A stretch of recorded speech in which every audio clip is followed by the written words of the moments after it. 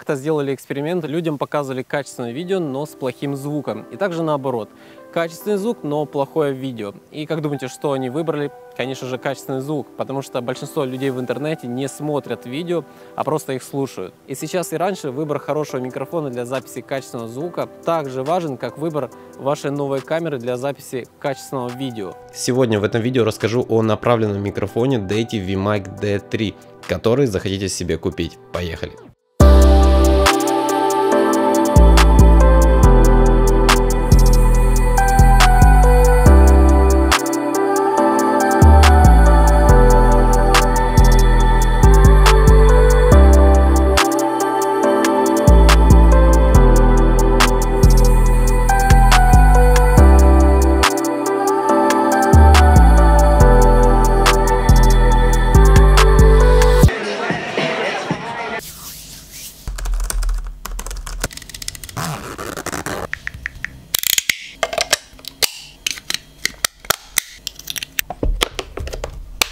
Микрофоны бывают разные, направленные и все направленные, и для определенных задач. В данный момент пишу звук на петличный микрофон, а в руках у меня микрофон пушка Deity D3.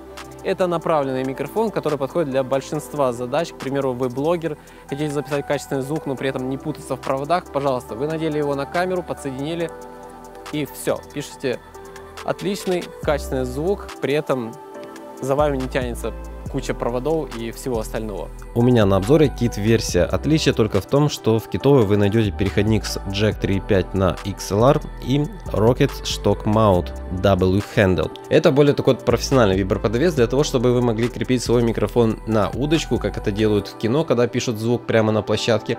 И также это просто удобная ручка с резьбой 3 шестых. В комплекте с микрофоном идет жесткий кейс для его хранения, да и вообще переноски, если в вашем рюкзаке для оборудования не предусмотрено отделение для такой хрупкой техники. Микрофон с одетой поролоновой ветрозащитой и виброподвесом. Виброподвес здесь рабочий, а не только для того, чтобы установить микрофон на камеру. Также у него есть полезная функция, позволяющая двигать его вперед и назад с резьбой 3 шестых переходником под 1 четвертая.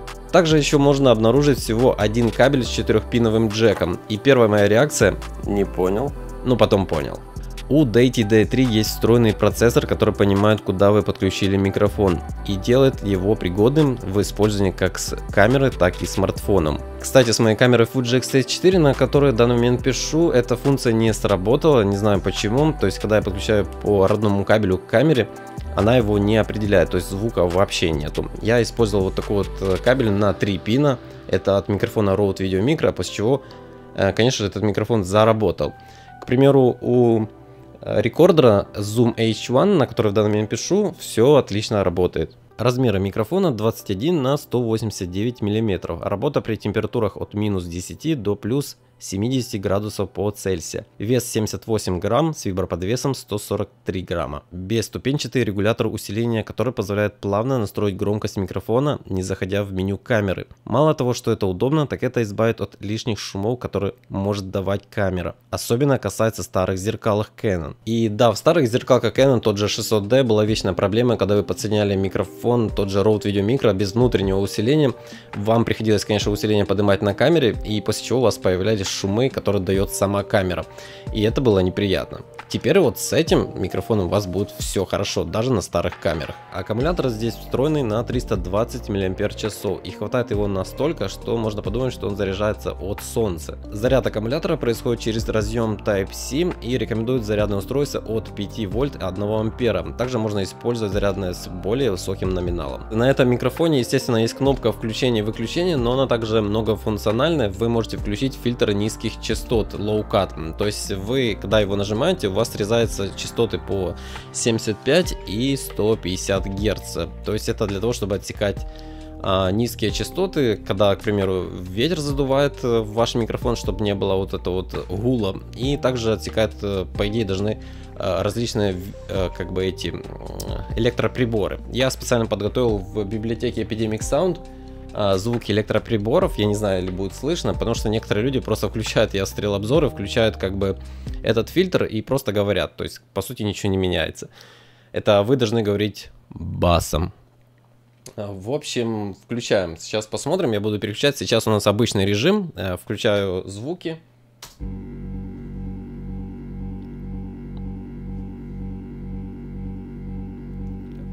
Итак, включаю 75 Гц.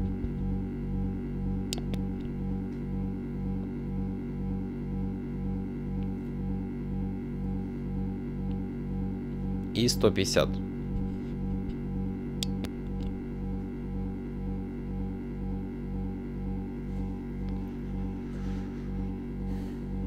Возвращаю обратно. А, не знаю, ли вы услышали разницу. Лично я в наушниках не особо ее услышал. И давайте теперь я немножко позадуваю просто микрофон. 75 и 150. В общем, такие вот дела. Кстати, пользуясь моментом, напоминаю, что по ссылке в описании вы можете зарегистрироваться на Epidemic Sound и использовать его целый месяц бесплатно. Это крупная библиотека музыки и звуков, где вы можете для своего ролика найти просто в миг через поиск, через различные жанры, фильтры. И вы можете найти себе любой трек, который вам понравится под э, ваше видео, и также еще разобрать его по частям. То есть вы можете скачать как полный трек, также можете инструментальную версию скачать, также можете э, скачать его полностью разобранный по частям, по битам и так далее.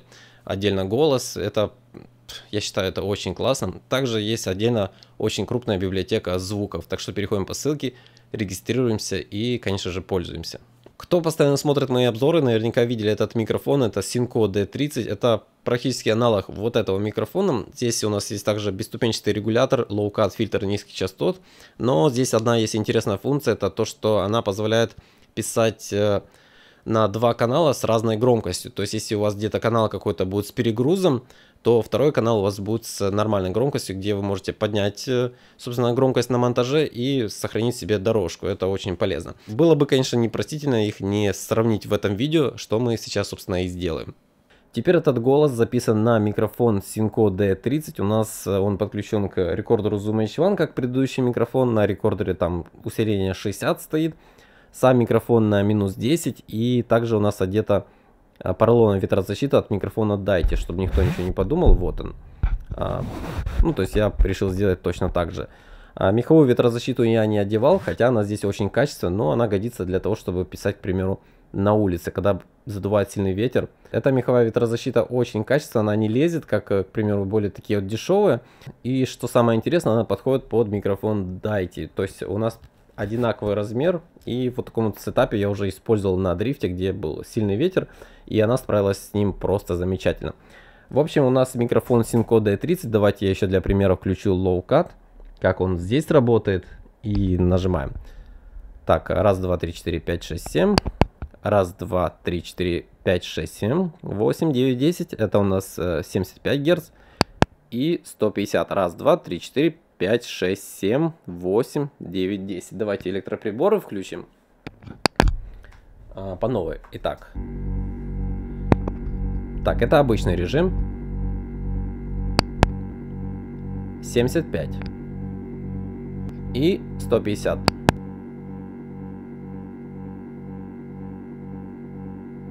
Теперь звук записан на микрофон Synco D30. Расстояние то же самое метр, усиление в гейн там стоит 5 и Fuji стоит, конечно же, опять-таки в 0. Раз, два, три, четыре, пять, шесть, семь, восемь, девять, десять. Сейчас вы слышите звук с микрофона Deity, там усиление стоит в 5, а в самой камере Fuji в 0. Расстояние такое же метр.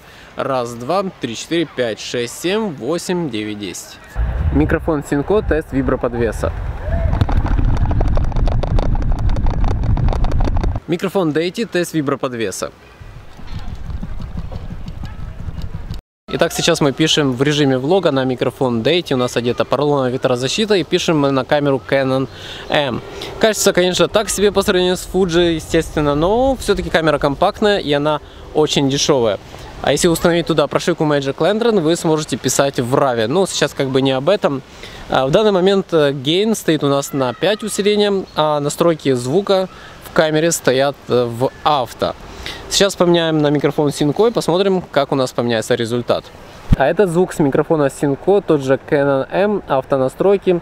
И усиление gain стоит у нас в 5. Одета меховая ветрозащита, которая идет у нас в комплекте. А это у нас э, на дейте у нас поролоновая. Поролоновая годится только в тех моментах, когда не сильно дует ветер и для записи каких-то подкастов.